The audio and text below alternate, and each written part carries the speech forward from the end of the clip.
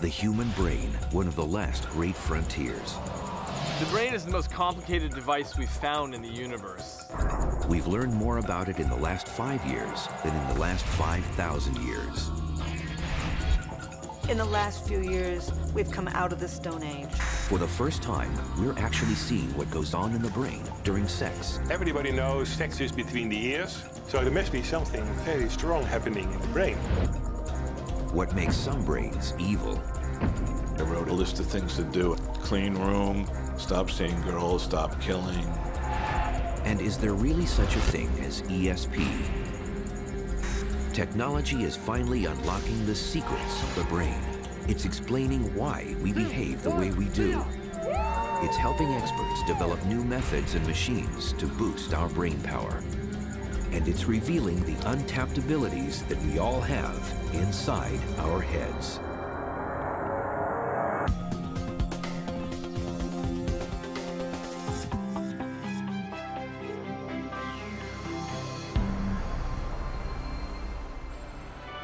The brain controls every aspect of our lives. As humans have evolved, it's doubled in size.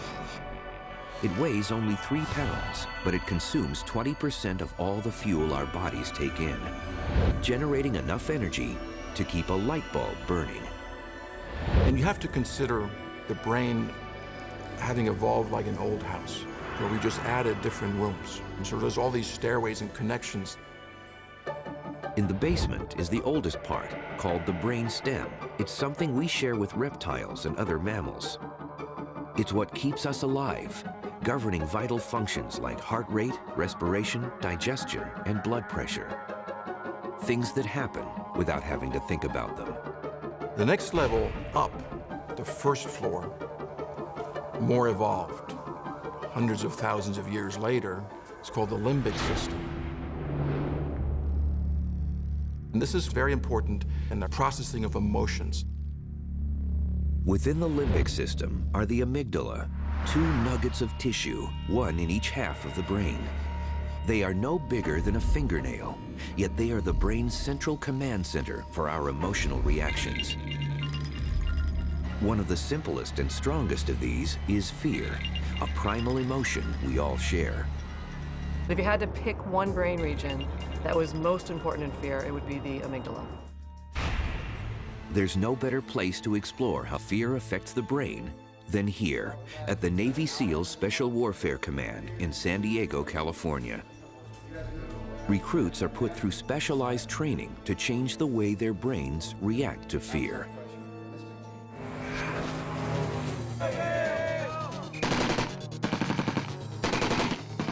We introduce our students almost from day one to absolute chaos. And they will struggle. When you look at historic mistakes on the battlefield, they're almost always associated with fear or with panic. So the capacity to control these impulses is extremely important. Out of 140 candidates who start each class, on average, only 36 make the final cut. Successful recruits seem better able to adapt their brains to the demands of the job. It's not really necessarily the physical people who get through there. There have been Olympic athletes who've dropped out of training. And there's this 140 pound farm kid from Nebraska who'd never seen the ocean before and he graduated. Why is that? To answer that question, the Navy turned to neuroscience.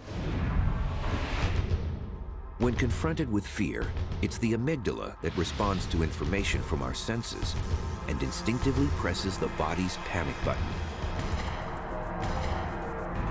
The amygdala is actually one of the most interconnected regions of the brain. So it actually uh, will both uh, send signals to parts of the brainstem that now elicit a range of bodily responses as you start to sweat, your heart races, um, you know, you might freeze for a while, you might run away. This exercise, known as the hooded box drill, is part of the close quarters defense system and is one of the ways the U.S. Navy conditions its recruits to control these amygdala signals. Our students are deaf and blind, Our instructors will, uh, will set up a scenario, and then the hood comes off, and the student has to respond. Well, when you're under that hood, uh, you, have, you have just a moment to kind of gather your thoughts and, and think of scenarios that could come your way. Sometimes the correct response is swift and lethal. Sometimes it's nonviolent. Hey man, do you know where the gas station is? My car ran out of gas. Yeah, there's one back that way. It is? Yeah. All right, thank you. It's supposed to simulate those quick snapshot situations, those high risk situation that just happened in an instant.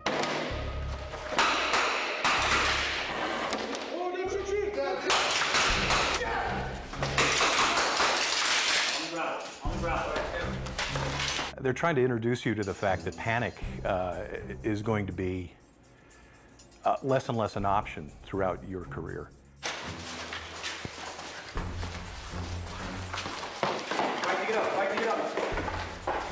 So the right way to do training is to expose people to scary situations where they can get used to them and know how to react when, when they're confronted with it. Through constant exposure to fearful situations, recruits learn to suppress fear that could otherwise make them react the wrong way and get them killed. But how do their brains do that? What scientists discovered is that as humans evolved, another part of the brain, called the cortex, also became involved in processing fear. The part that makes us most human about the brain is our frontal cortex. If the amygdala is the first floor, the cortex is the second floor of the brain. It's the brain's thin, wrinkly outer layer that's divided into four sets of lobes. If you unfolded the cortex of a monkey, it would be about the size of a piece of paper. If you unfolded our cortex, it's about four sheets of paper large. And the reason it's wrinkly is because you have to squish that all inside of the skull. The frontal lobes comprise the area just above our eyes, and these are the newest rooms of the brain. As humans evolved, the frontal lobes became the place where conscious, rational thought is processed. It's where we do our problem solving. The frontal lobes are so interesting because they are really the conductor of the brain.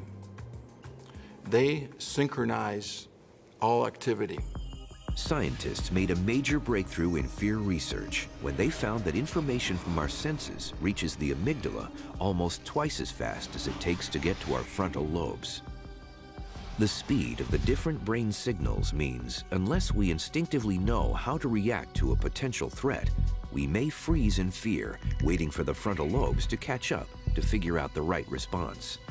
Part of what happens with fear and panic is the unknown, is not knowing what to do next, and so your brain essentially freezes the way a deer freezes in the headlight. So the amygdala may get very fast signals about fear, um, even, but sometimes they're wrong. And quickly the situation may say to you, no, it's not a fear situation, and you're not afraid.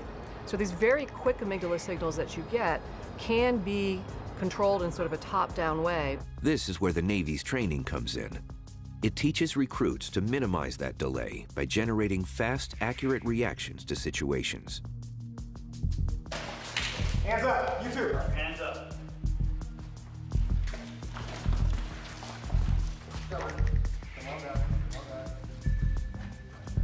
With demand for special forces increasing, the Navy continues to develop brain training techniques to see if they can improve the pass rate.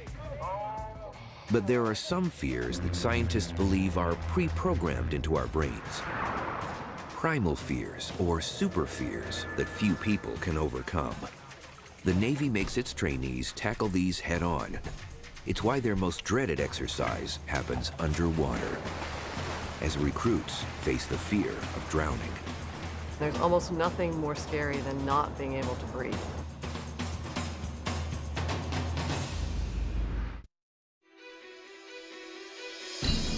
We are learning more now about the brain than at any other time in history, how it's put together and how it operates. Breakthroughs in brain science are helping the Navy to rethink how they train SEAL recruits. Everybody keep passing the commands. Specialized exercises can improve their brain's reactions in fearful combat situations. But the candidates need something more to cope with a super fear like drowning.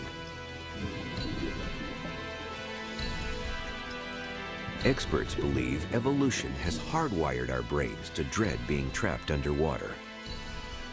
As a result, it's almost impossible to control the brain's overwhelming impulse to surface for air.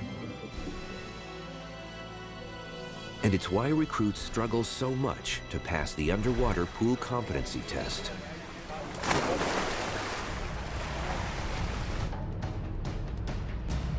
Pool comp is a very important milestone in their uh, career here. They're being tested how they can deal with fear underwater. And there is controlled harassment, planned harassment projected at them underwater, and we see how they can cope with that. Students must spend up to 20 minutes underwater, enduring repeated attacks on their breathing equipment by an instructor. Half of the time, they are without air. Their air is shut off, their breathing hoses are wrapped around in difficult positions, and they need to respond to those problems with a series of emergency procedures. Step-by-step -step instructions for untangling their gear are drilled into the recruits' heads beforehand. They must follow these to the letter. But putting theory into practice isn't easy. Go down the bottom and the instructors, they come down, they'll start attacking you, taking your mask off, just creating all this stress. And, and the more that stress builds up, they want to see how you'll handle it.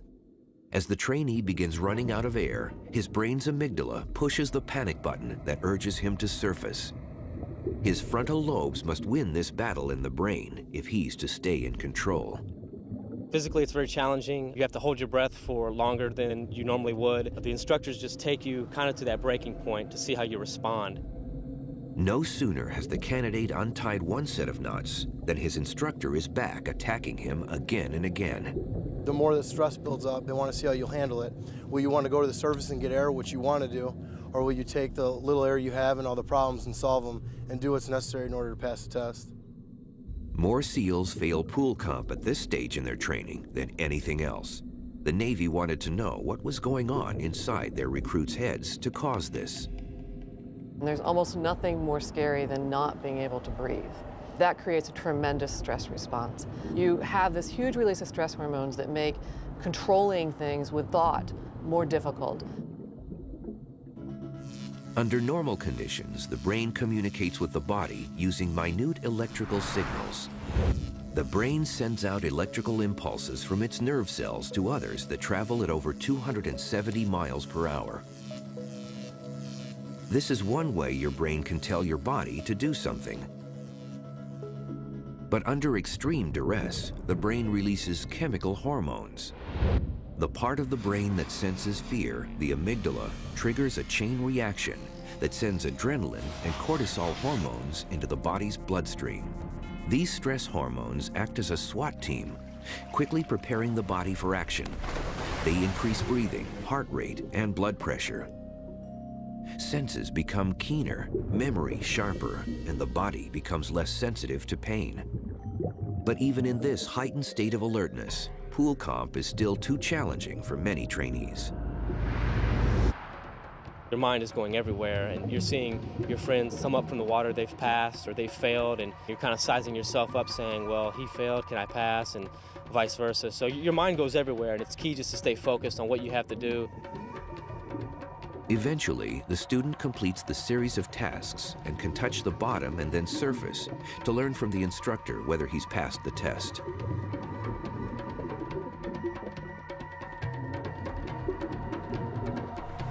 I feel fine. Few SEAL candidates succeed at pool comp the first time.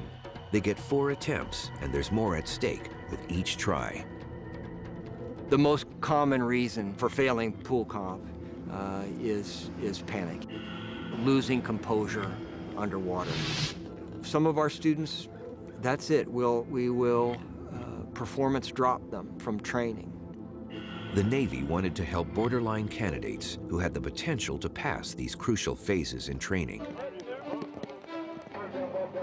After consulting with experts, they came up with a groundbreaking mental toughness program, a set of techniques to boost the trainees' ability to control fear, even in the most extreme situations. You guys need to stay fired up while you're out there. The pain, the cold, and all that stuff. It's gonna eat away at you, but you got to keep going. The techniques that we were most interested in are what I call the big four. Goal setting, mental rehearsal, self-talk, and arousal control. Scientists think goal setting works by assisting the frontal lobes. As the brain's supervisor, the frontal lobes are responsible for reasoning and planning. Concentrating on specific goals lets the brain bring structure to chaos and keeps the amygdala, the emotional center of the brain, in check.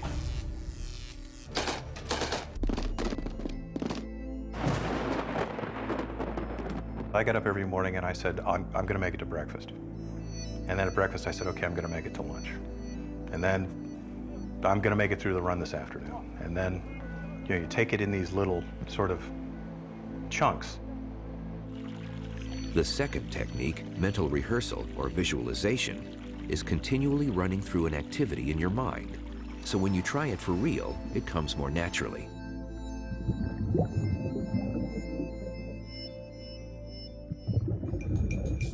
If you practice in your mind first and imagine and rehearse how you might do in these stressful situations, the next time in reality you're faced with these situations is actually, in effect, the second time you faced it. So you'll have less of a stressful reaction. The third technique, self-talk, helps focus the trainee's thoughts. The average person speaks to themselves at a rate of 300 to 1,000 words a minute. If these words are positive instead of negative, can do instead of can't, they help override the fear signal coming from the amygdala. The frontal lobes are always on, so it's very easy to think about something difficult, something bad, like I'm going to fail. What am I doing here? I didn't practice enough. What you're trying to do is you're trying to replace those bad thoughts with good thoughts.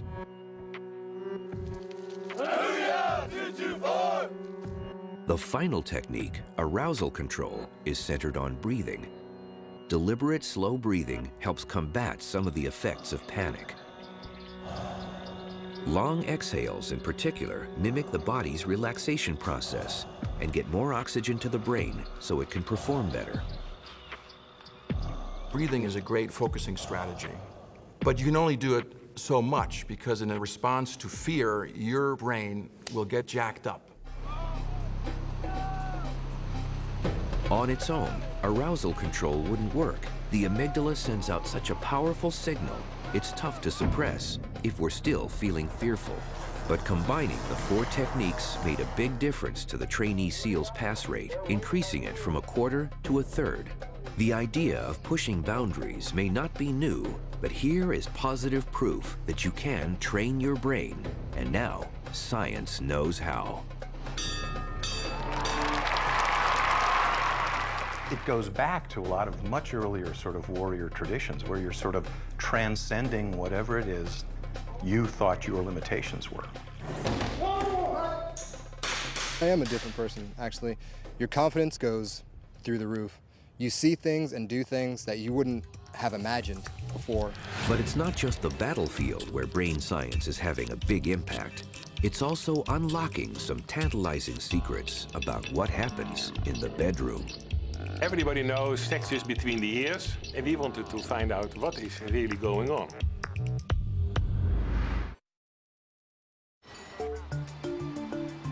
While the brain has evolved a fear response to keep us out of danger, it is also equipped with a strong sexual impulse to ensure the survival of the species. Having an orgasm is one of the most powerful human experiences. So to begin to creep into the mind and find out exactly how the brain is producing this overwhelming ecstasy is exciting. In the Netherlands, neuroscientist Dr. Gert Holstege is blazing a trail in sex research by revealing for the first time what happens in the brains of men and women during orgasm.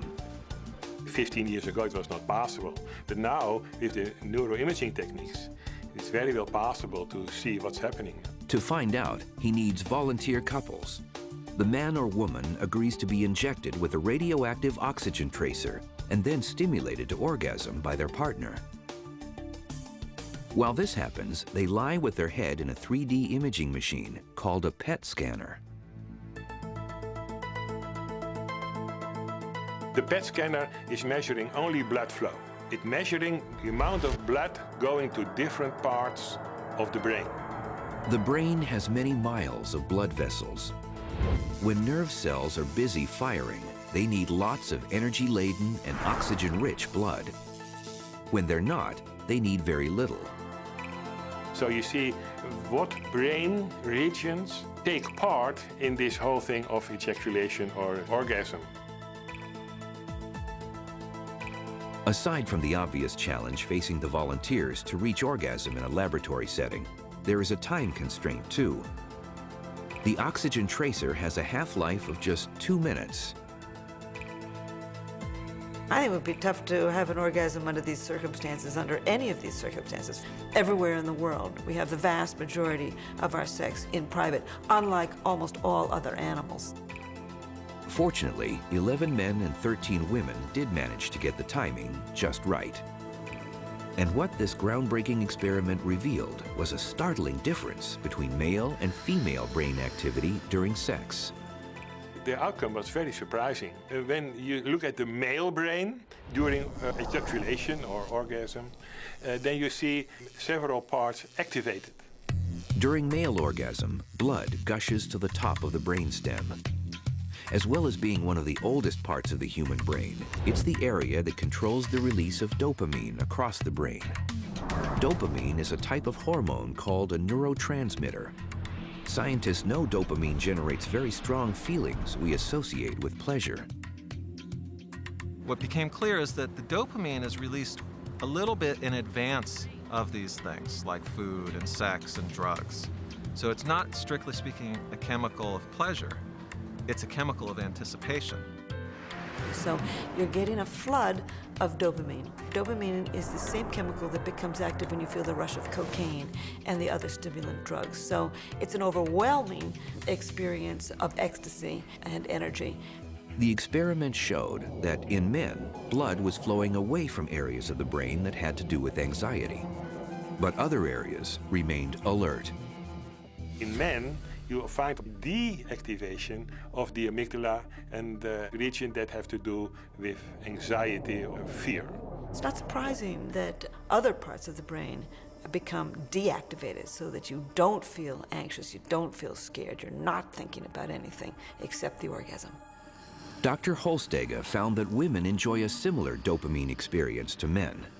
But what surprises him most is how much a woman's brain shuts down during orgasm. The deactivation was the most important finding.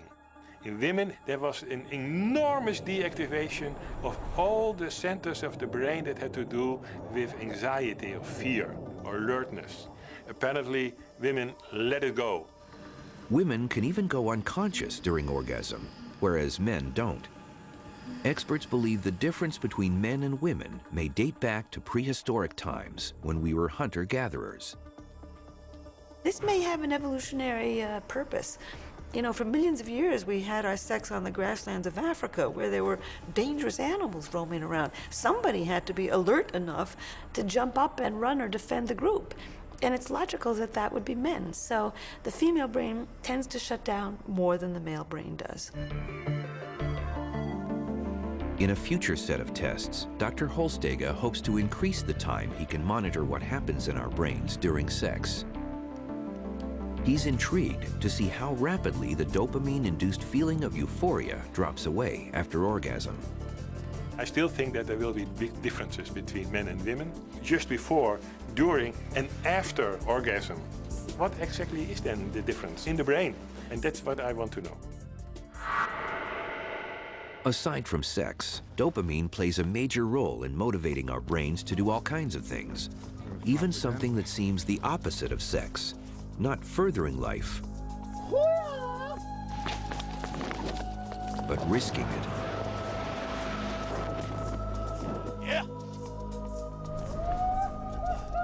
What is it about the pursuit of pleasure that would make these base jumpers in Moab, Utah want to throw themselves off a cliff?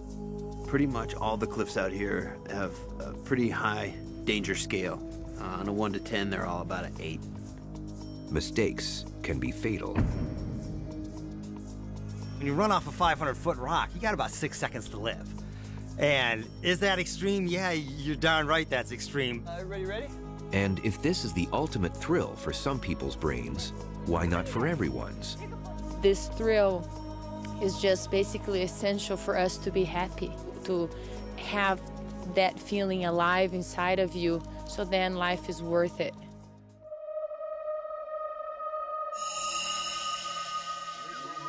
Science tells us that as a base jumper is thinking about the jump, their brain begins releasing dopamine. As with sex, dopamine plays the role of building anticipation. But unlike sex, the amygdala doesn't shut down. Instead, it's sending out fear signals. Before a jump, I'll get the jitters and I'll get nervous and palms might get sweaty and a million thoughts racing in my mind. Most of your mental uh, preparation is okay, what if my parachute opens backwards? What if I have a problem with one of my toggles? Even though the jumpers are focused on the jump itself, you know, what they might not realize is that the dopamine kick is happening all along during this process. Yes, I checked them. Okay, no twist. Kresta Christensen is a newcomer to base jumping. I'm feeling excited. My heart's going a little bit faster because I know that that gear check means that it's getting a little bit closer. Three, two, one, see ya. Ooh, I get so nervous. it is unlike anything else that I've ever done, especially for someone that's scared of heights.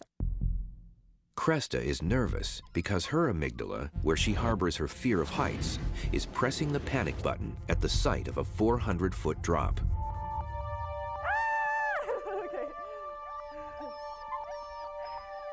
It's about as physiologically aroused as a person can be. You've got the stress system going, so you've got adrenaline being released that gets the heart going. Uh, you've got hormones being released. You've got stress hormones like cortisol going. You've got neurotransmitters like dopamine being released in anticipation of the euphoria. But at the same time, Cresta's frontal lobes weigh in, making her question if she's doing the right thing. The fear, the pleasure, the potential risks, all these competing signals get processed into action, experts believe, in the striatum, in the middle of the brain.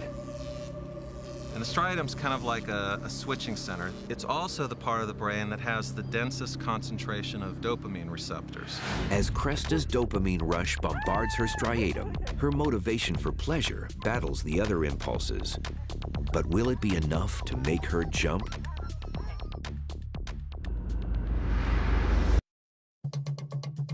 Inside the brain of a novice base jumper, there's a battle waging as she makes a life-threatening decision. Will Cresta risk everything for pleasure? And just launch. Okay.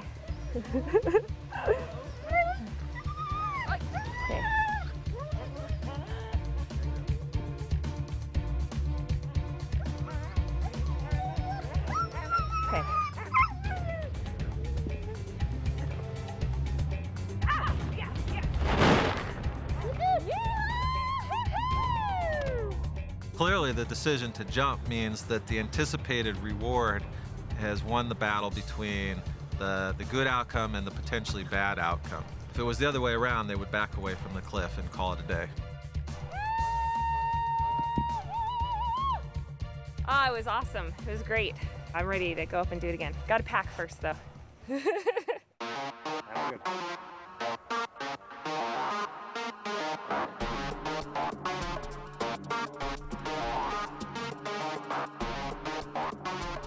No sooner have these jumpers survived one death wish than they're getting ready for the next.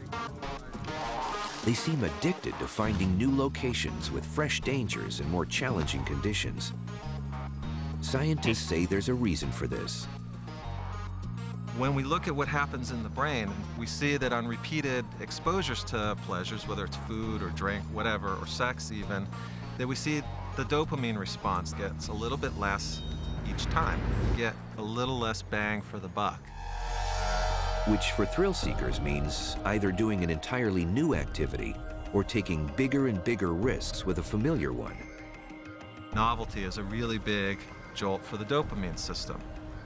And so when we look at base jumping, it kind of mixes both of these things and really maximizes the pleasure response. That's what keeps it addictive. The base jumpers would appear to agree. By keeping things uh, uh, new and different, it keeps the excitement there. There's people who do it one time and decide that it's too risky to do it, so they stop. Most people continue to do it, and they'll do it at least once a week, if not, you know, more than that. There's very few people who dabble in base jumping. Three, two, one, see ya! Scientists think we find danger seeking pleasurable because it's been necessary to our evolution.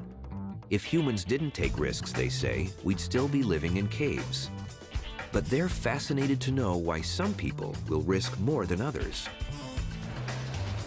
Even in an everyday situation like a restaurant, there are some people who will always order the same thing, and others who will try a new dish each time and gamble on it tasting good. Experts at Emory University in Georgia wonder if some people's brains are pre-programmed to gamble or take bigger risks than others. They ask volunteers to play a gambling game. The object is to avoid receiving a shock to the foot. Ooh, that one hurt.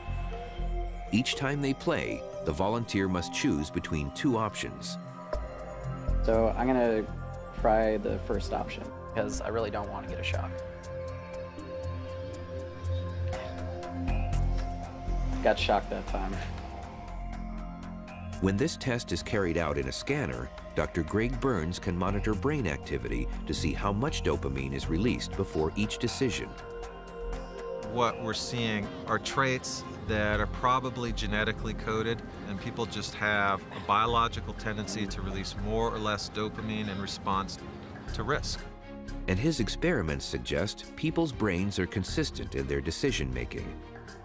He's even perfected a computer program to the point that it can predict which option people will choose before they make it. We can take a template of their brain response to these different gambles, we call it a neural fingerprint, and put it into a computer algorithm and then predict with a high degree of accuracy what they'll choose. Although people are different, it seems like people do have a fingerprint for decision making. But Dr. Berns says we're a long way from predicting anything complicated. The great thing about neuroscience is that the deeper that we dig in terms of decision making, the more questions that come up. One of the big questions that scientists are studying is how particular personality types make moral decisions. New discoveries are offering clues to understanding why psychopathic brains let them do evil things. We all do something wrong once in a while. Most of the times when we do something wrong, we not just know it, but we feel it. We feel bad, we feel guilty, we feel remorse. And it's the feeling of what's wrong that stops most of us from misbehaving in the future. But what happens when someone doesn't feel any guilt or remorse? And there's no battle happening in their brains to prevent them from committing, repeating, and even enjoying what are unspeakable acts of horror for the rest of us. Men like Ted Bundy, who murdered at least 35 women, Jeffrey Dahmer, who tortured 17 men and boys to death, and Joel Rifkin, who beat and strangled 17 women.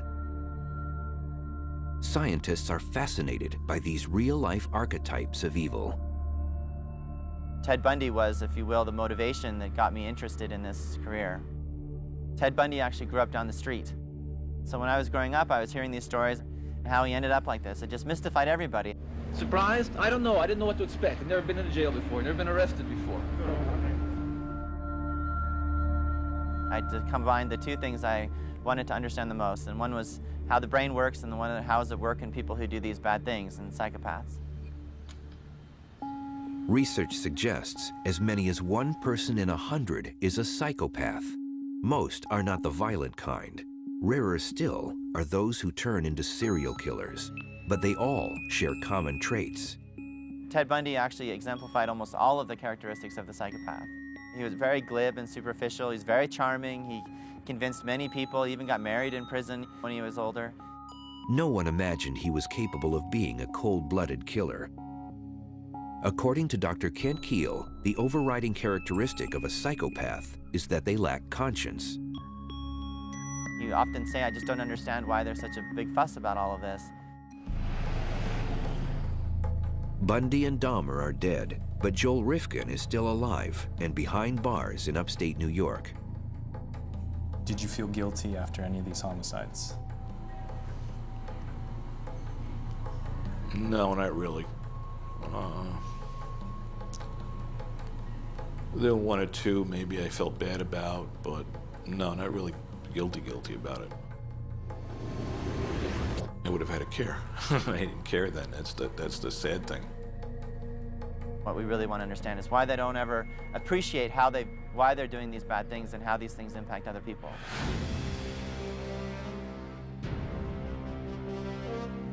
Scientists hope that by looking inside the brains of psychopaths, they might finally identify the reason for their twisted thoughts. Once upon a time, Joel Rifkin was this innocent little baby with this beautiful smile on his face. He didn't have one sense of evil in him. Or did he?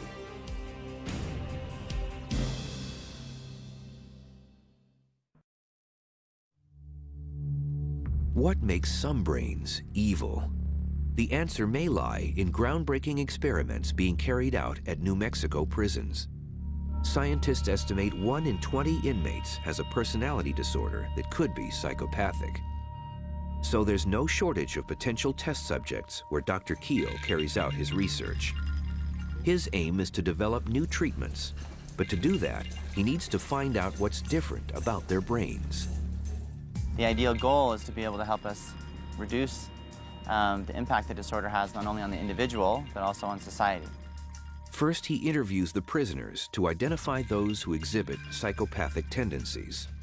So this is going to be an interview that we kind of cover different aspects of your life. So we're going to start out with like school history. We'll talk about employment history, talk about your family, talk about criminal activity, things that you've done, things like that.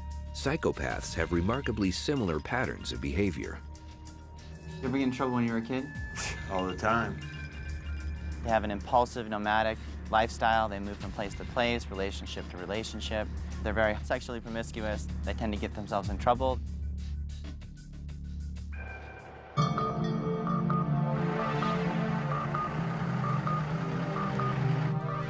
Dr. Kiehl sends the prisoners he's diagnosed as psychopathic for brain scans. In the first test, he wants to see how they react to making mistakes. So scanned over 300 inmates. So we've actually collected one of the largest brain imaging data sets in the world, and by far and away the largest brain imaging data set that's ever been collected in, in psychopaths. All right, this is obviously the magnet. Doesn't sound like much now, but it will get very, very loud. The scanner uses magnetic fields and radio energy to monitor blood flow in the brain while the inmate is thinking and reacting. So in this task, you're going to see a series of X's and K's on the screen. What I want you to do is press the first button with your right index finger whenever an X appears on the screen, but do not press when a K appears on the screen.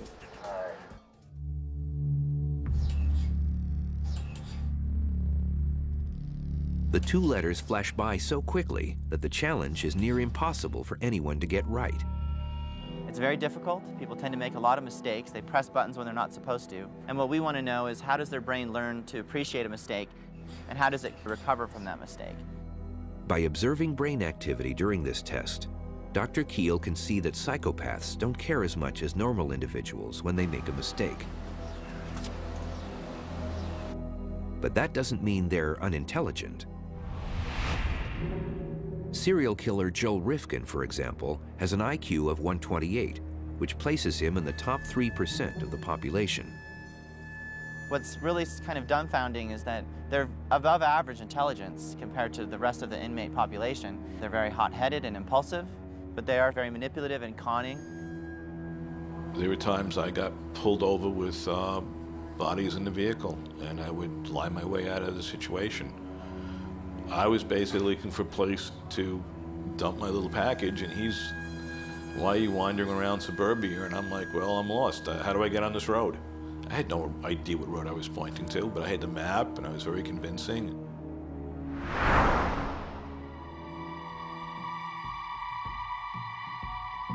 In a second test, the New Mexico inmates are asked to rate photos on whether they are morally objectionable. A moral violation is an action or an attitude that is considered to be wrong. You should make your decision based on your own system of moral values, not what you think others or society would consider to be wrong. Does that make sense so far? Yeah. Okay.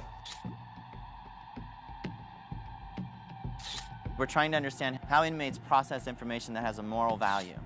And there are different brain systems that we believe are deciding whether or not something's a moral violation or not, and whether or not those systems are not developed normally in the psychopathic inmate.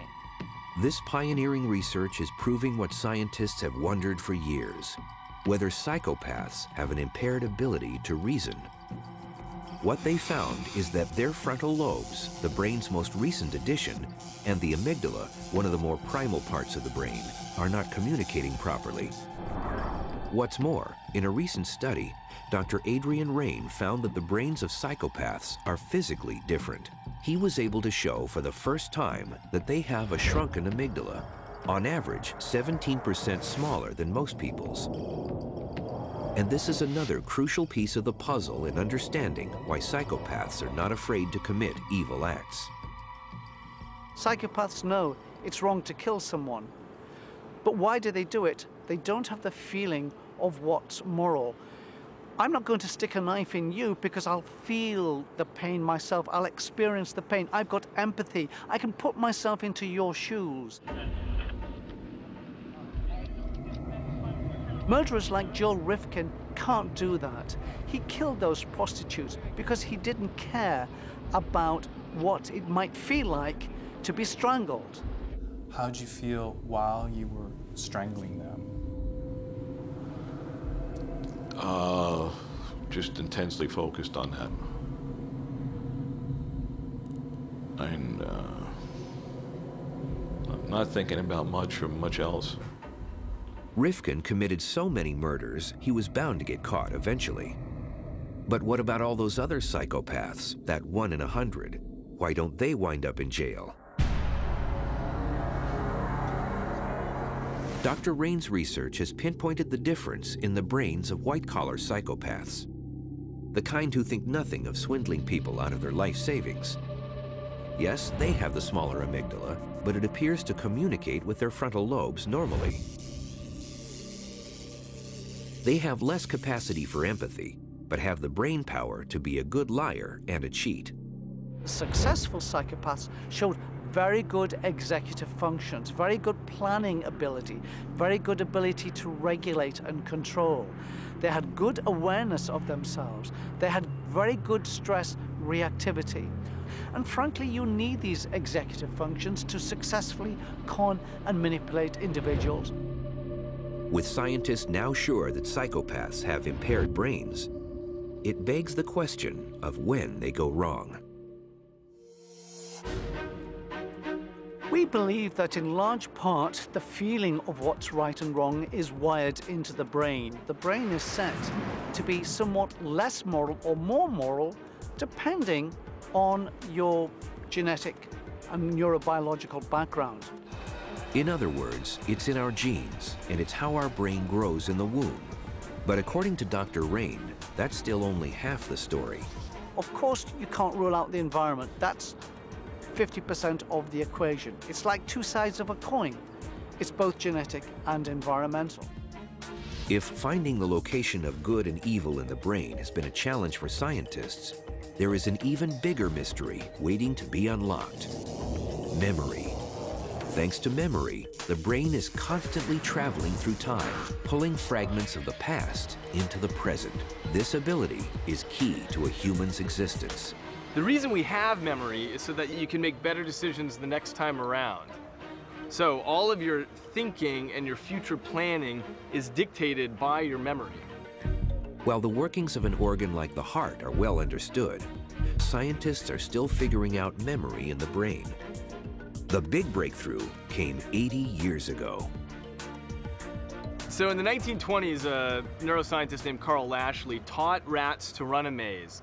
And then he damaged parts of their brain selectively to see where the memory of how to run the maze was stored. And what he found is that it's not stored in any particular place.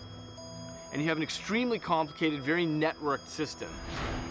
The system is so complex, in fact, the most advanced supercomputers don't even come close to the storage capacity of the brain, which science 10 trillion bytes of memory.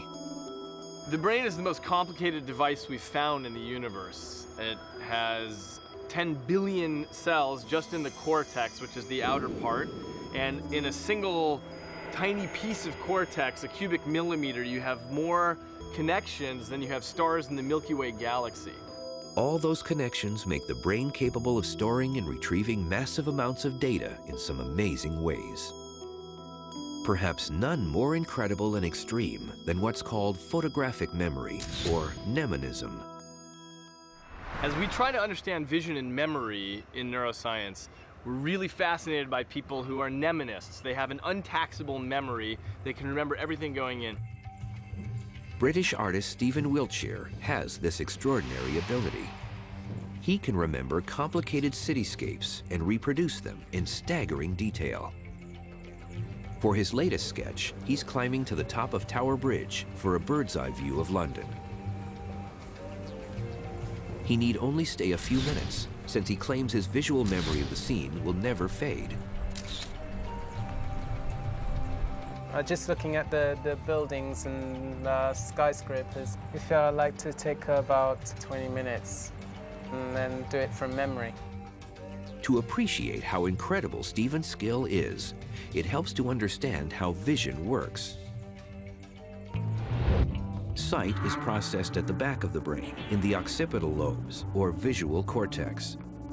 Two eyes give a field of vision of about 200 degrees. They can detect 2.3 million different shades of color. And experts estimate they send 72 gigabytes of information to the brain every second. That's like 18,000 songs on an iPod. Back at his gallery, Stephen begins to draw what he saw. He's using several areas of his brain. His parietal lobes, in particular, are working to control his spatial manipulation and hand-eye coordination. Cross-checking his sketch with the view reveals just how uncannily accurate it is. In little more than an hour, he's recreated the panorama. This picture will sell for $4,000. Stephen's talent is almost superhuman, but his skill comes at a cost. He is an autistic savant, which means his brain has developed differently. Most of us don't have the capacities he does because our brains are doing 57 other things. We're thinking about our careers and our mortgages and our futures and what we're doing at the grocery store later and so on. And as a result, the neural real estate is divided among lots of different tasks. In a savant's brain, essentially all of that real estate is devoted towards one thing, like solving that Rubik's Cube or playing the piano. And as a result, they have deficits in other aspects of their life, for example, in their capacity to socialize. Geniuses like Leonardo da Vinci, Mozart, and Monet all had incredible memories, and there's speculation they may have been autistic too.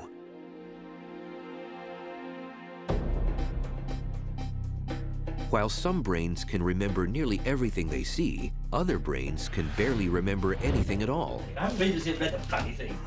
Welcome to the life of Clive Wearing, a man with the worst case of amnesia in the world. What were we doing before we sat on the bench? No idea.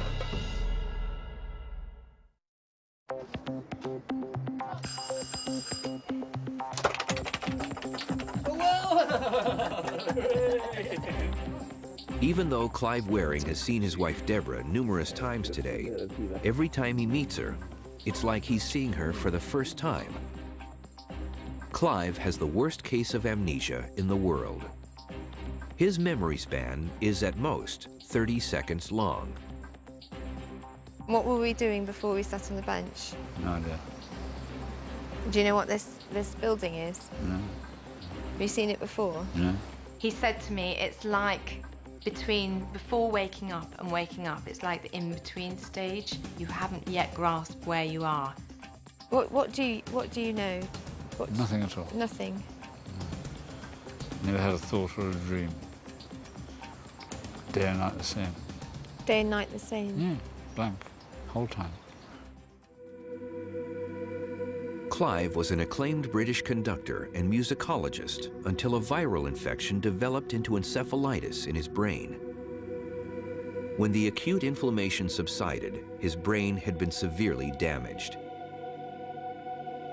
It's left him with only a very limited short-term memory. Clive has absolutely no memory of anything that's happened in his life since the ambulance took him away in March 1985. And his autobiographical memory is so vague as to be almost not there. Who's that? I can't remember. That's him. My son. Your son, that's right. yeah. That's Anthony, Yeah. And that's his children. His children. Yeah. Oh, I see. Only they're much bigger now. Although memories are spread across the entire brain, there is one part that acts like a key to the storage and retrieval process, the hippocampus within the limbic system. We know this because without the hippocampus, new memories do not form. There are at least two types of memory in the brain, and most generally we divide that into short and long-term memory. So short-term memory is if uh, I tell you my phone number and you have to remember that for a few seconds while you go over to dial it. Long-term memory involves things like where you grew up and where you went to school and what you did today. That's all stored in long-term memory. What's happening with Clive is that he has a very short-term window of memory. He's not able to translate the short-term into long-term. He's not able to cement down the activity in the short term into something in the physical structure in his brain. Neurologists who have examined Clive have found severe damage in his hippocampus. And they think that's what's preventing his brain from storing memories. Clive Wearing suffers from both um, anterograde and retrograde amnesia.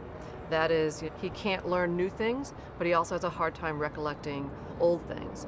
And it primarily seems to be affecting his ability to recollect information at will.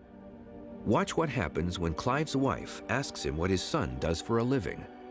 Do, do you know what Anthony's what Anthony's profession is? Hmm? He's an electrical engineer. Oh, is he? Yes. Oh. And do you know what he designs? No, Have a guess. no idea. So. yeah. It, car motors. Oh, car motors? Yes, electrical car motors. What a good idea that is. Yeah, yeah. Stop the poisonous gas coming out of the petrol engine. That's right. Yeah, it that was a very doesn't it? disastrous idea, that part potted. That's right. Yeah. Do you, do you know anyone who, who designs electrical car motors? No, I don't. Do you know anyone who does that? No. Your son does. Oh, I see. Anthony does. He he's actually got his own business. Oh, well done. Yeah. Hmm. Do you know what what what? Do you remember what Anthony's doing these No days? idea. I was still at school last time I was conscious. Mm. What makes Clive such a unique case is that while he can't remember details about his family, he can recall other things. The fact that his language is preserved so well and he is articulate illustrates the procedural memory for how to speak and how to construct words is stored separately than the issues about episodic memory, what you did, the facts about your life. Different types of memories are stored very differently in the brain. Experts believe language memory could live in one of the temporal lobes, the one responsible for sound and speech, on the left side of the brain. What's even more amazing is that Clive can still play the piano. His procedural memory for playing the piano on the right side of his brain is undamaged.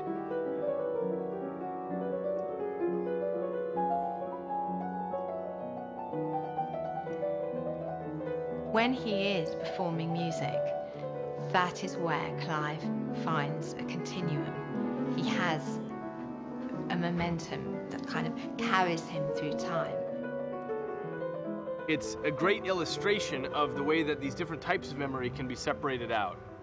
Do you know what month it is? Hmm? It's April. April. Mhm. April it So it's your birthday next month. Yes. Clive today appears upbeat, but that was not always the case. I haven't read this yet, read the bloody thing. Well, use your intelligence. This was Clive in 1988, three years into his amnesia, when he was frustrated and angry. For the first 10 years, Clive lived in a world where he said the same few things over and over again because of the anxiety, the fear, the terror, the horror of his situation. Each new moment he felt he was awake, he wanted to write it down. When it was such a compulsion that he would have written it on the table, on the wall, on any available surface. So how do you think it got there? I don't. I presume the doctors don't know. But you must No, I haven't. You listen to me, please, for heaven's sake. When I say no, I mean exactly that. The The pages of his diary are filled with exclamations and words crossed out. Eventually, though, his anger subsided. He started to change after about the first 14, 15 years. He began to remember things for longer. His mood changed. Deborah attributes this change to her faith and her prayers. Scientists have their own explanation. We do know that your brain physically changes, and that's what we mean by plasticity. It's always rewriting its own circuitry. With children, the brains are extremely plastic. That's why um, children can learn language so much more easily or learn how to play new instruments. What we're now discovering is that the adult human brain is much more plastic than we previously thought. So when people get brain damage, other parts of their brain can shift around and take over the missing functions. This year, Deborah wondered whether Clive still needed his diary. When he looked through the previous days and weeks and months and saw that he'd just written the same thing over and over again, it tended to upset him. And we thought, well, let's just take it away and see whether he misses it. To everyone's surprise, after writing in his diary every single day for 23 years, Clive didn't ask for it back. That compulsive need to record each moment of awakening must have passed. Scientists have learned a lot about memory by studying Clive. But they've also gained valuable insight on other brain functions that contribute to a person's identity. A lot of people say memory makes us who we are. And boy, did I find out how wrong that was. Clive's personality, thank God, is intact. Fancy a cup of coffee? Oh, I'd love one. That'd be marvellous. I thought you'd be pleased. He's funny. He's also very compassionate. Lead the way to heaven on earth. He has no knowledge about himself, but he is who he is. Unchanged. Pure Clive.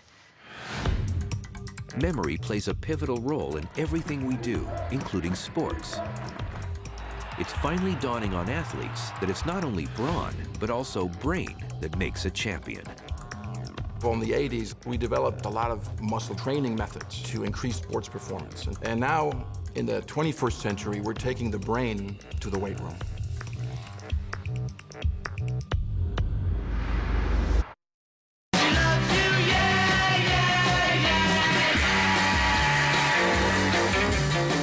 She Loves You, we had this idea, it was, it was very, very much a pop idea. She said, she loves you, that we were merely the messenger. So say.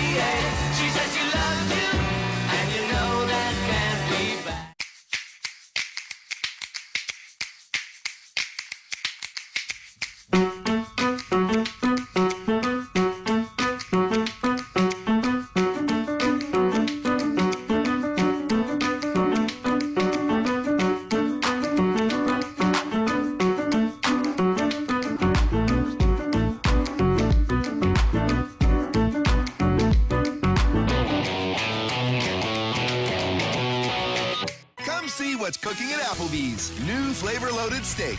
start with America's best selling flame grilled steak. Then we load it up with fresh ingredients and savory flavors like the Steakhouse Classic with Applebee's signature sauce. Best of all, they start at just $9.99. There's also our Bourbon Street steak with blackened shrimp, the Napa Valley Cabernet and Portobello's, and more. Applebee's new flavor loaded steak starting at $9.99. There's no place like the neighborhood. This holiday season, buy $50 in Applebee's gift cards and get a $10 bonus card free.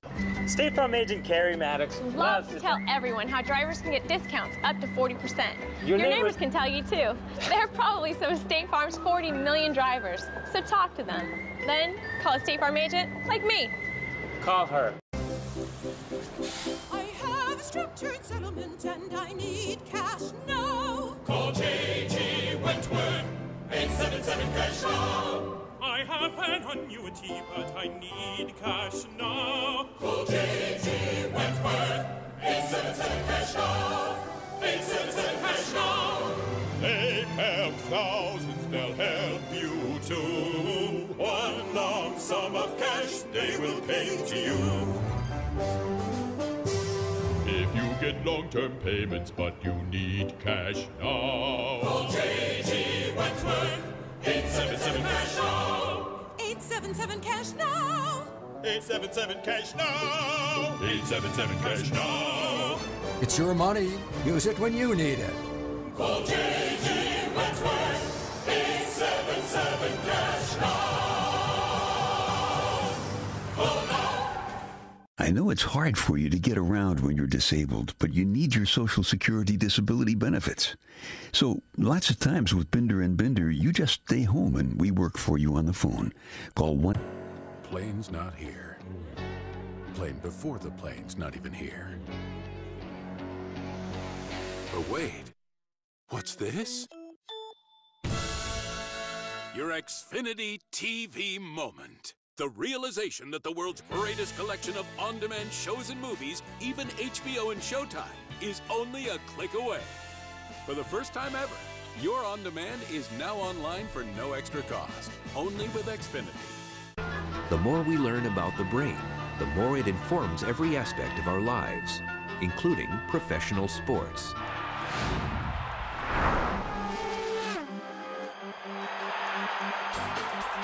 Sports performance is all about the brain, but it wasn't like that all the time. For the longest part of history of sports, people didn't care about the brain. They would consider an athlete a good player if they had good muscle definition and they were very coordinated. Just within the last 10 years, we think that about 50% of all sports performance, and sometimes the most important part about elite performance, is related to brain functioning. Now, athletes have caught on to how important the brain is to their performance on the field. 90% is mental. It's, it's, it's a tough game, you know. It's, you really have to have control of your mind to play this game. So, how does the brain improve the game? Almost all of sports is dynamic and requires millisecond to millisecond decision making.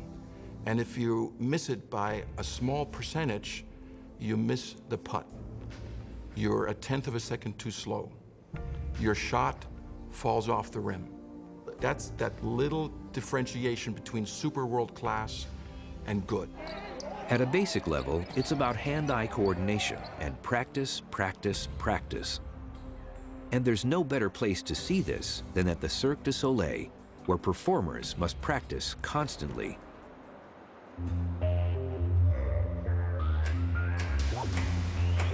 We use our frontal lobes to learn how to carry out an activity. But the area of the brain that benefits most from practice is the cerebellum, at the back of the brain.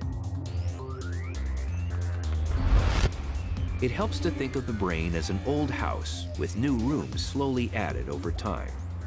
The brainstem is the basement because it evolved first. The cerebellum came next. It's an old part of the brain, sort of set up off the first floor in the basement.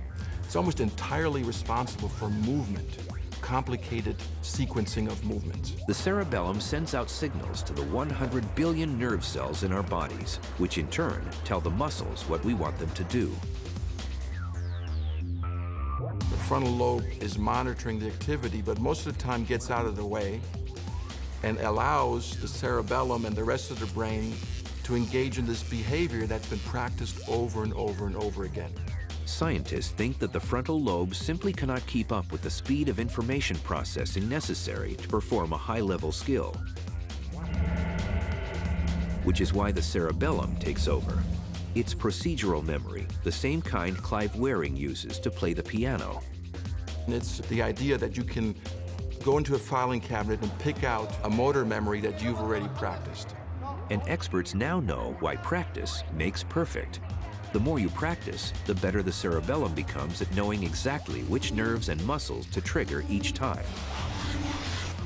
In the sports psychology, there's suggestions that it takes 10,000 hours of deliberate practice in order to achieve the level of expertise. Such extreme levels of ability may actually lead to memory within the muscle itself, guiding a sequence of contractions and relaxations. But the brain is still essential. You damage the brain, there is very little activity. Now, of course, you need an intact body, you need physiology that works.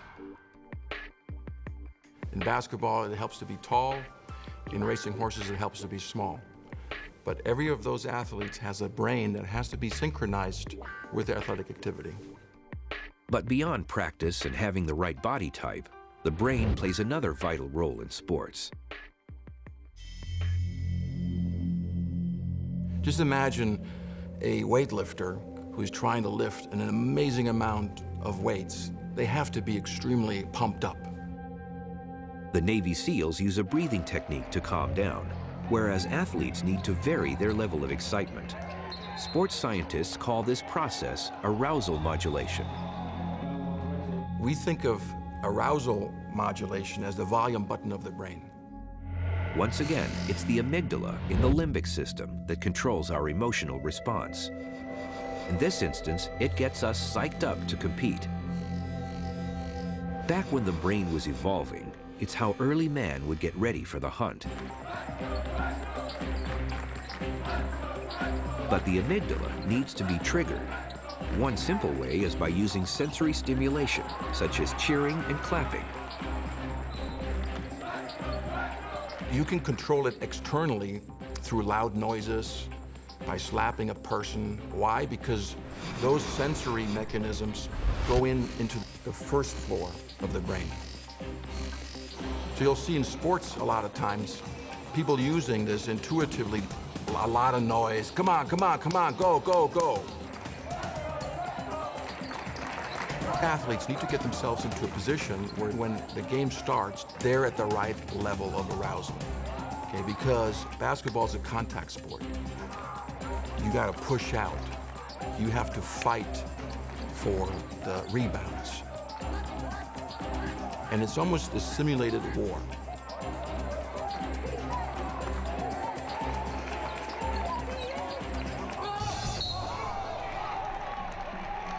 Once you're in a higher arousal level and you got to come down, it's just as difficult as it is to go up. It might even be more difficult. All of a sudden the game stops and they have to shoot a free throw. The player needs to turn from pumped to quietly focused in seconds. Inside the player's brain, the frontal lobes must quickly muffle the amygdala response to calm emotions, relax the body, breathe slower and lower heart rate so that he stands a better chance of making the shot. This is tough because the player's body might be too pumped or the frontal lobes might be distracted by other nervous thoughts like the fear of failure. If these thoughts are strong enough, they could feed back to the limbic system and trigger the fear response. This would then make it extremely difficult to focus on performing a complicated action well. It's a situation experts call performance anxiety.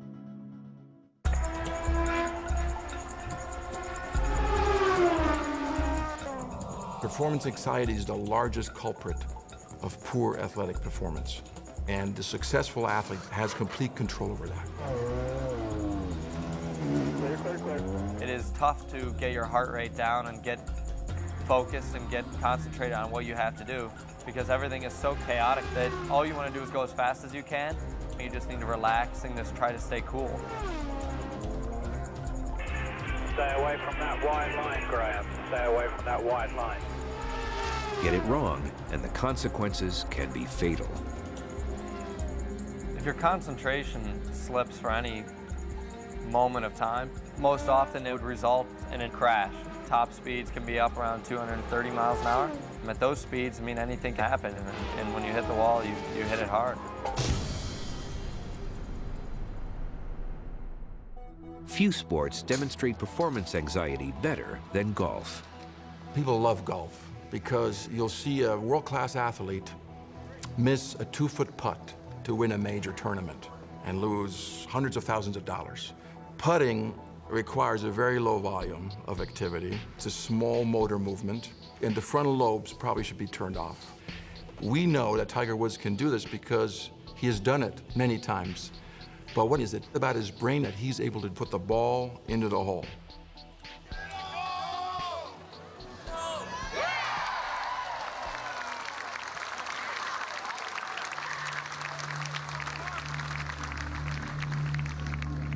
What we found is the brain can either help you succeed in this athletic activity or it can help you fail. And we think Tiger Woods has found a way to succeed most of the time because of his ability to modulate his own brain functioning. Scientists can't scan Tiger Woods' brain in action. He would need to lie motionless, which would make playing golf impossible. So instead, they must make an educated guess. Because he's blinking so little during a putt, we think that his anxiety is very low. Because eye blinking is usually related to anxiety. So he's very relaxed, like a drowsy state, a drowsy, sleepy level, but yet enough concentration that you can focus on the task.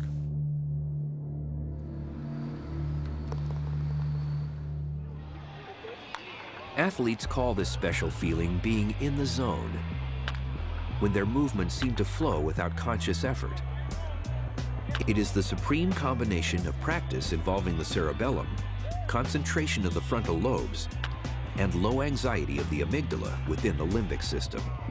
Zone, it's very hard to get into. I really feel like if I can control my breath and I can get it as slow as possible, that'll, that'll slow down my heart. As soon as that happens, I feel like I get total consciousness of everything. All five senses are working the best they could possibly work. Experts think the brain gets so focused, it's somehow able to block or ignore any irrelevant input. Brain and body begin working in perfect sync. Athletes and everybody else, for that matter, all want to be in that zone, and there's something special about it. Everything gets aimed at the one task at hand. And when you do that, incredible things can happen. You have a real clarity of thought and decision making. When I'm in that moment, everything around me is slow and I can control what I'm thinking, I can control what I look at, I can control what thoughts enter my mind. And in turn, that, that gives me the greatest chance for success. Being in the zone could be the brain's ultimate control over the body. But there are some people who claim its ability extends even beyond that. I'm being pulled here. The notion that the brain has a sixth sense. He's also telling me to talk about either Staten Island or... That's where we live. Okay, let me tell you exactly what he's showing me then so you know where. If you were to go over the bridge and through the toll and then take that first long road down That's the left... That's where I live. Okay. Mm-hmm.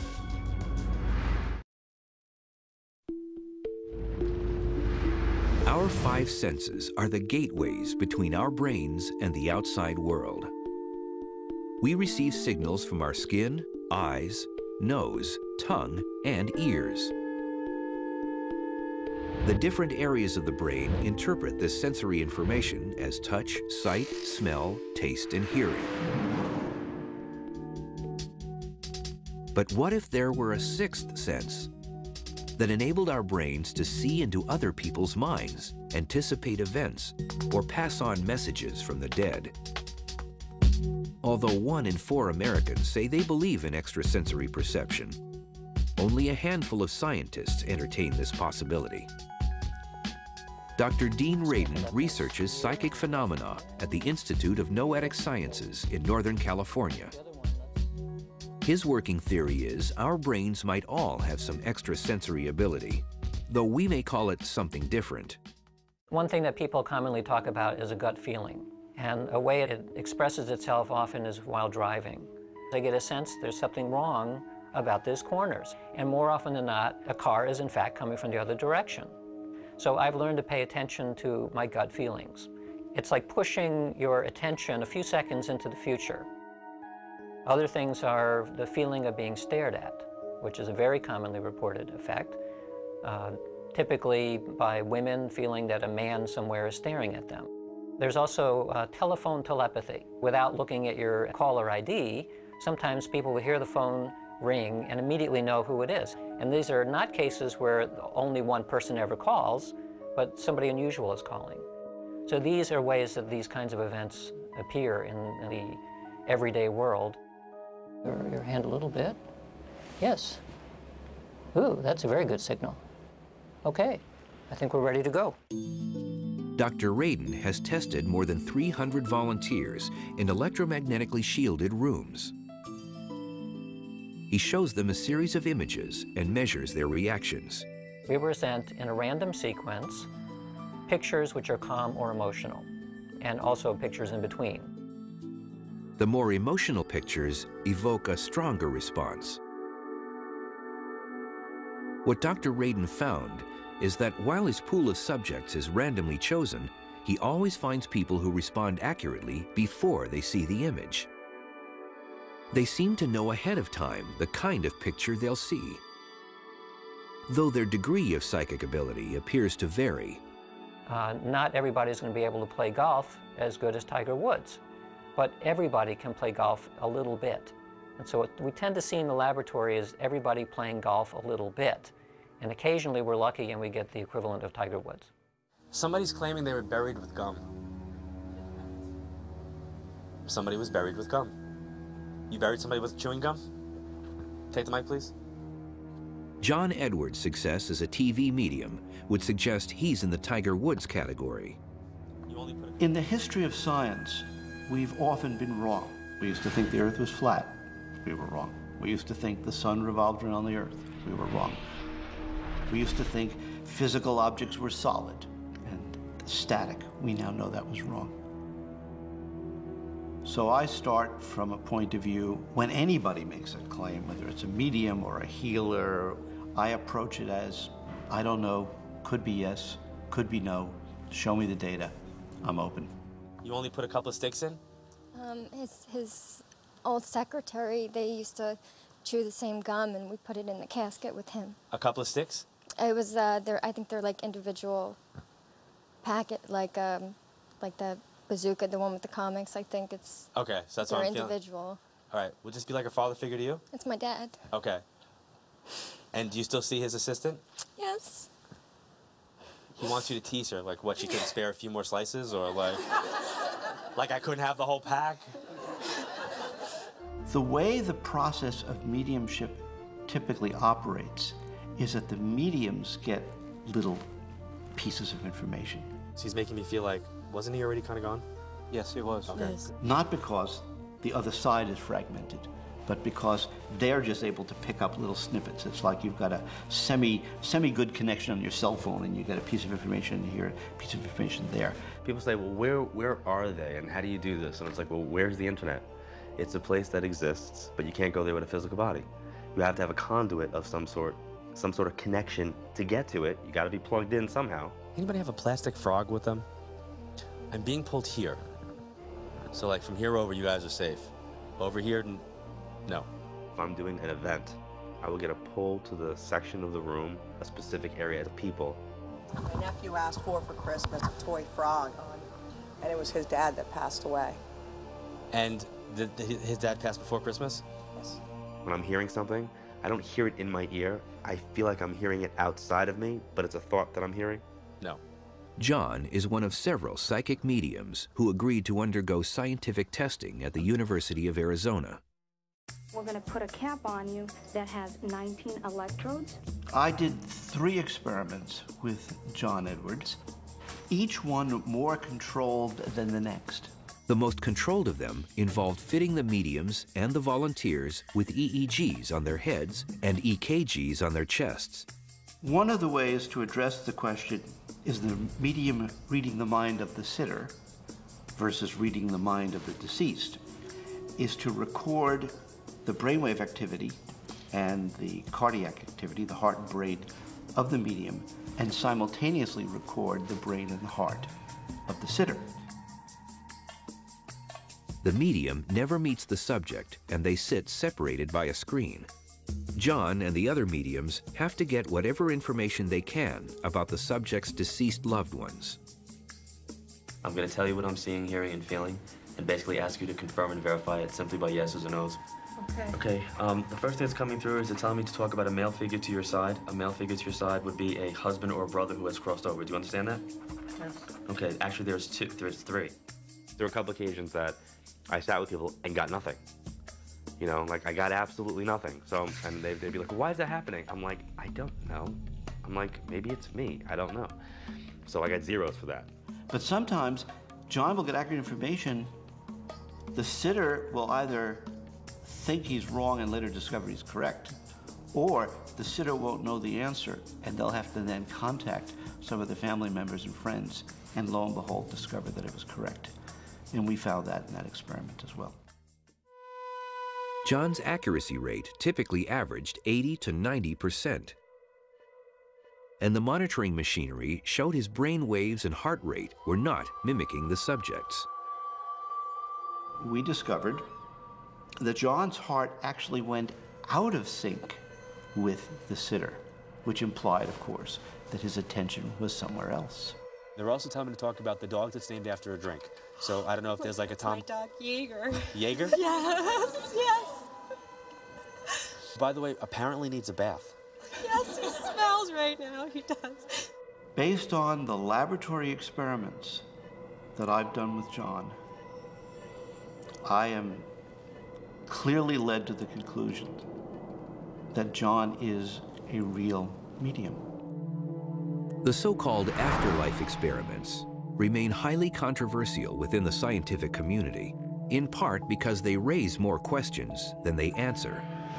At the present time, scientifically, we don't know how real mediums like John Edwards do what they do. The working hypothesis that we entertain in our laboratory is that we all have energy. This energy continues um, like the light from distant stars. And what John does and others do is that their brains and consciousness serve as an antenna and receiver. And what they do is they learn how to tune in to the signals that are present and keep their noise low, and then receive these subtle signals. The concept of a connected fabric of reality, of which we are part of that by virtue of being here, is similar to something like the Force from Star Wars. Uh, Obi-Wan at some point suddenly feels a disturbance in the Force when a planet is blown up. And in a sense, he's feeling ripples through this space-time medium that he's able to sense directly. The phenomena we, what we call ESP probably operate on something like that. Physics has a name for this distant connectedness. It's called quantum entanglement. At the moment, it's just a theory being applied to electrons and molecules. Scientists don't know yet if it could apply to the brain. But the breakthrough that confirms extrasensory perception could come sooner than we think. It's always very difficult to predict uh, when such things happen. Um, I would guess maybe 20 years. Somewhere, sometime between tomorrow and 20 years. The next two decades promise to unlock many mysteries about the brain. Neuroscientists are already working on smart technologies that could change our lives in ways we'd never imagine. We will get to a point, I believe, when uh, there will be instantaneous communication from the web to our brains. That, of that I'm sure. What if we could supercharge our brains using machines and take the next leap of evolution within a single lifetime instead of over many lifetimes? Radical innovation is the goal of programs being funded by the semi-secret DARPA, the Defense Advanced Research Projects Agency. Their mission is to be kind of the blue sky thinkers of science for the national security establishment. And they've produced some amazing technologies that we take for granted, besides the internet, the computer mouse, and of course the stealth bomber. They take some of the smartest scientists in the country and they ask them to push current science 30, 40 years into the future, to take big leaps. DARPA is funding one such leap at Columbia University in New York. Scientists there are developing a computer program that helps the brain process visual information at lightning speed. In our modern society, we're bombarded with information, whether it's images from television, images on the web, one's job, and it's starting to be overwhelming, and we need to figure out which images we really need to spend time looking at and which we can ignore.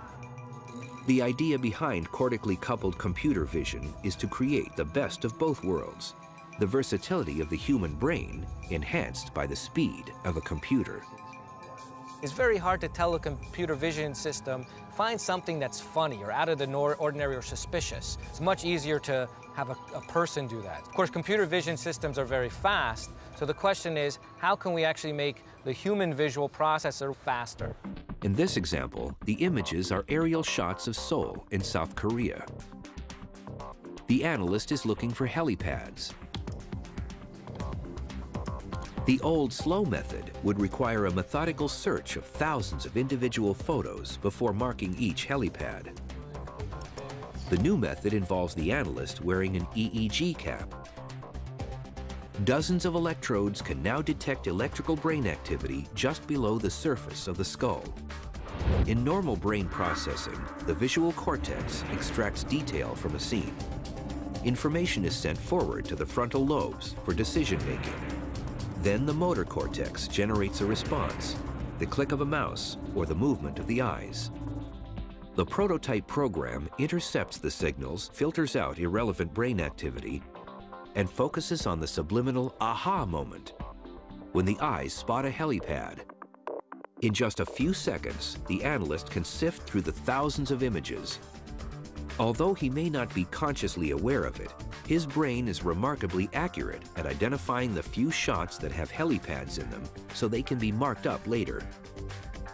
So essentially we're going to tap into the signals that are involved in deciding whether there's something interesting and without having the subject having to make a response, use that to now reorder or resort image databases to improve search. This boosted vision technology helps the image analyst work up to four times faster. It could be adapted to help fighter pilots make better split-second decisions, or to improve the sifting of surveillance footage by police or security personnel. And then there are possibilities beyond defense and intelligence. One potential application that's of interest in which there's high throughput of information might be in, in the stock market or in trading. I mean, many times traders, they're assimilating this information across different screens. Something might catch their eye, but they can't actually act on that at that moment. So that information can be tagged that it grabbed the interest of the trader and processed by some other person down the line. Medical research might be interested in these devices too and marketing teams could use them to record people's first reaction to a product or advertising campaign. A video game company in California is already ditching the joystick in favor of brain power. A headset similar to an EEG picks up electrical activity from the brain as well as twitches from facial muscles. The signals get translated into on-screen commands.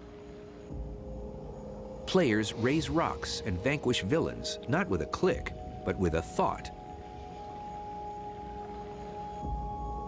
The future potential for implanted personal data assistants, or PDAs, is almost mind-boggling. As we get older, we all worry about the, our inability to remember names and faces. We're going to find ways to compensate for that loss of natural, evolved memory. We're evolving in the direction where we will have devices that will do that for us. And I think ultimately we're going to have a Facebook in our heads. At that point, it's going to be pretty hard to see where you know, we end and the technology begins. At Duke University in North Carolina, neuroscientists are taking that next step already. They've implanted electrodes into a monkey's brain and isolated the brain signals for walking. During one recent experiment, a monkey paced on a treadmill while her brain activity was sent via the internet to Japan to instantly control the walking of a five-foot humanoid robot. The monkey got raisin treats for making the robot walk. Then her treadmill was switched off. In her desire for more treats, the monkey kept the robot walking, using only her thoughts. And there's been a similar breakthrough at the University of Pittsburgh in Pennsylvania. Monkeys, fitted with tiny sensors in their brains, have learned to control a mechanical arm and use it to reach for snacks. It will have tremendous implications for medicine, uh, for people who are amputees, for people who are quadriplegic, giving them the ability to move robot prosthetic arms and legs in ways that will allow them to interact with their environments, which they have not been able to do before. Could there be hope in the future for someone like Clive Wearing, whose brain damage means he can't process new memories? I don't remember sitting down in the seat. That was unknown to me. There's work being done currently with rats that might one day create a synthetic hippocampus for humans. If you could do that, in theory, you could actually introduce instantaneously new memories as we do in computer chips every day these days. What if uh, instead of taking months and months to learn a language, we could download a basic uh, dictionary of a language? Or what if, never having been somewhere, instead of having to carry that tour guide or book around, you know, that clumsy book, and stopping in the middle of the sidewalk every few minutes to see where we're going, we actually had a rudimentary map that had been downloaded into our brains of that new city that we're visiting, or those monuments that we're looking at. Drugs are being developed for combat troops that would allow them to stay awake for two or three days with no ill effects. A new class of chemicals called ampakines are thought to help the neurotransmitter glutamate work better in a tired brain, and so improve memory, learning, and cognition. These could eventually find their way into everyday use. Lack of sleep historically has meant that you are inclined to make mistakes. Um, I think we're going to be able to resolve that problem. Shift workers, people who have to work all night, might be able to do without sleep and function very well. Students who are studying for exams, people who have to travel across time zones as part of their work. In the near future, scientists expect to perfect portable brain scanners. Light-emitting diodes fitted in a headband would bounce light into the frontal lobes to detect brain activity. That information would be fed into a unit no bigger than a pack of playing cards. Instead of lying motionless in a giant MRI machine, wearers could discover what's going on in their brains while, for example, playing sports. We will be able to look into super athletes' brain like Federer or Agassi or Tiger Woods and see not that they're different anatomically necessarily, but functionally they are different in terms of how they process information. The second application is that you can use this new technology to help athletes perform better or perform up to their capacity. Imaging technology is still in its infancy. In widespread use for less than 20 years, compared with over 100 years for X-rays, it's limited only by our imagination. The pictures we get of the brain right now, though there are several really amazing technologies, they're pretty gross. They're at a large level. Now people are saying, wow, it would be really good if we could get a more granular, more fine-grained, deeper images of the brain, so at the molecular level. And I think that's the next frontier for brain imaging. For all that we have learned about the brain, we still have so much to discover. There are many unsolved questions that remain about the brain, and they're surprisingly simple. How is memory actually stored and how does it get reconstructed? Why do brains sleep and dream? What is intelligence? Why do people have a variety of skills and talents? How do we perceive the world? How does the brain represent time?